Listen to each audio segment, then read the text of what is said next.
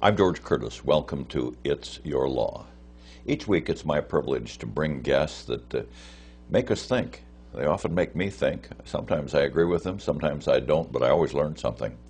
And from your calls and uh, cat calls, uh, I understand that you learn something now and then too. We like to bring people who make the law, enforce the law, or have something to do with what our laws are supposed to accomplish as social engineering. And we hear mostly from people who are disappointed. Sometimes we have people who really know why they're disappointed and are making some efforts to change things. Today's guest is an author. She's also been a legislator, and she's currently a candidate for the Congress, and her name is Terri McCormick. Welcome to the show. Thank you, George. I'm delighted to be back. Well, it was fun to have you before. I've seen you with different hats, and uh, it was exciting when I found out that you were writing a book. I was very, very curious. So curious, I bought the book. and, and I must confess, I haven't had a chance to read all of it, but I probably read two thirds of it, and it's given me more questions than anything else. But first of all, for people uh, who haven't seen you recently in the public life, let's hear a little bit about Terri McCormick and uh, what got her here. I remember six years in the legislature, wasn't it? Exactly. I self-term limited. I told the people that I would be there for three terms in public office and kept my word to um, uh, to leave the state house. I believe uh, we'll have a, a, a lot more uh, uh representation of the people if we did honor uh, uh, term limits. I'm, a, I'm an advocate, and if elected to the United States Congress, I would certainly um, I would certainly push that piece of um, knowledge forward. I don't believe we'll get a bill passed to that effect, but I, I think we we would need to take a look at how we would um, pull that forward. And even before Terri McCormick, the politician, uh, you're a real person with a real life, a real family. Uh, mm-hmm. uh, you're educated, I think, a bachelor's and a master's degree. Education your field? I began in international foreign policy, actually, uh, with a political science degree, and then taught at the University of Windsor and did uh, pretty extensive research in the Great Lakes with the Great Lakes Commission at the University of Windsor.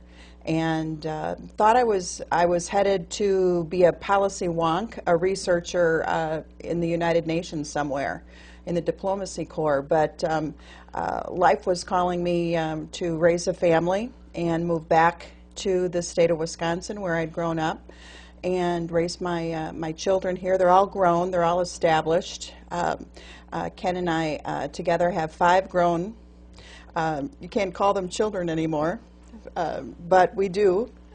And uh, we even have a lawyer in the family, uh, a banker. Kelly just graduated from medical college and is doing a residency in Michigan. Chris graduated from the Medill School of Journalism. You got mom talking here now. Um, she's doing very, very well in, in, corporate communications. And our youngest will be graduating from St. Norbert this year, and we're very proud of, uh, all five of them. Well, it certainly is a, an accomplished and a well-rounded uh, family background, and obviously the parents uh, uh, got some influence on the kids. And I read in one segment of your book that uh, your background is uh, Irish uh, farmers from Minnesota. Absolutely.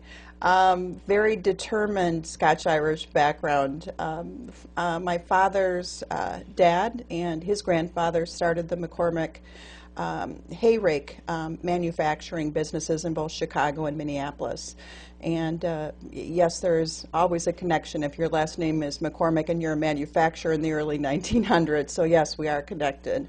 And I still communicate with, uh, with cousins out in Oregon that are running the McCormick fields where the hardwood timber is uh, that they use to, um, to make the paper for the Tribune. So there is that connection. Um, my mother's family was, was very established uh, in farming after the Civil War. They were given uh, land, as they soldiers were, if you're part of the Union, and established themselves as uh, early pioneers and leaders in their community. So I have a, a long tradition of serving serving my neighbors through through um, my heritage. But then, of course, there's a, a little bit of a bucking of tradition in the conservative areas where, where we are because uh, you jumped in both feet as a female in politics, and uh, let's be realistic, uh, there still is some resistance about having uh, women pass laws uh, that must be obeyed by us males. Isn't there? Well, it's um, uh, it's it's it's an interesting paradigm. Um, I've been reading uh, research on the resistance of some women against women too. So I don't think it's a, a gender on gender. I, th- I think uh, we all need to to really earn our, our place in life, whether or not we, we wear skirts some of the time or, or we don't.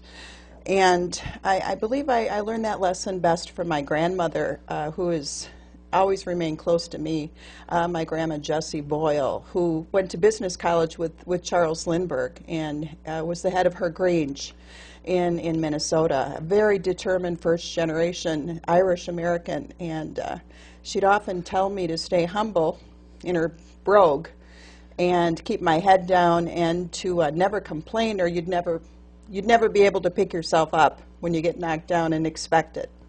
Well, then you got into politics, and uh, I'm sure that there was some background work and much study before you became a candidate. You seem to, according to the book, have no difficulty in knowing that uh, the Republican Party would be the party of your choice. But then when you got to Madison and saw how sausage was being made, you didn't seem too sure there was a difference. And um, you weren't too sure that anybody should be forced to eat the sausage. so let's take our first break, and when we come back, uh, we'll talk about some of those experiences of Terri McCormick in Madison. All right? Thank you, yes. We'll be right back.